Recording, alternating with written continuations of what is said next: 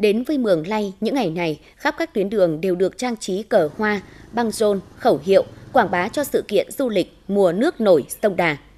Ngoài được ngắm cảnh quan thiên nhiên thơ mộng, trong khuôn khổ sự kiện, du khách còn được hòa mình vào các hoạt động đua thuyền đuôi én, bay dù lượn, lướt ván phản lực và các hoạt động văn hóa mang yếu tố bản địa của người Thái Trắng. Bằng các ờ, phương tiện ờ, và những cái Ờ, hình thức tuyên truyền, chúng tôi tuyên truyền về ờ, các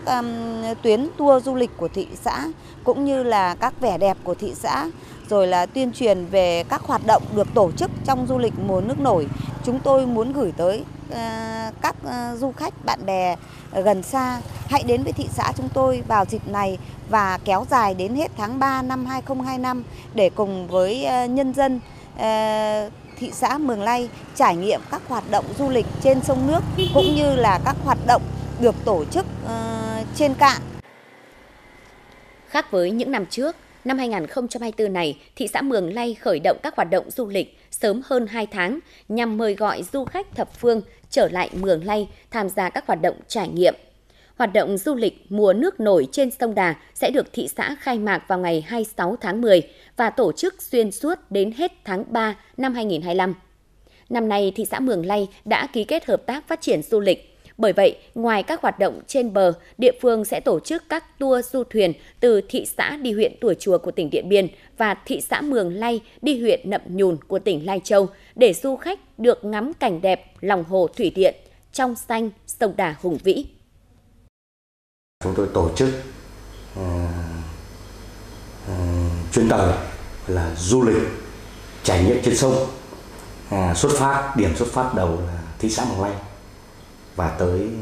hồi xóm của tổ chùa để chúng tôi có cái phối hợp kết nối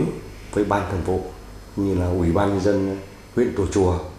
để xây dựng một cái kế hoạch chi tiết giữa hai đơn vị để đón những du khách đầu tiên đến tùa chùa giữ cái phiên chợ vùng cao và thưởng thức các cái văn hóa ẩm thực của đồng bào dân tộc thì hiện nay thì chúng tôi đã giao cho bên ủy ban sẽ có kế hoạch làm việc với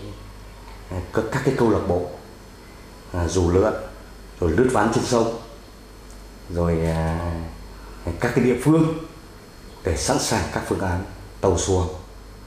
rồi các cái hoạt động phục vụ cho cái khai mạc.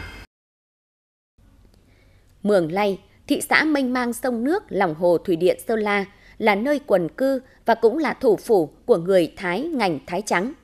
Tuy là thị xã nhỏ nhưng có đến 3 di tích di sản cấp quốc gia như nhà tù Lai Châu, nghệ thuật xòe Thái, lễ hội Then Kim Pang.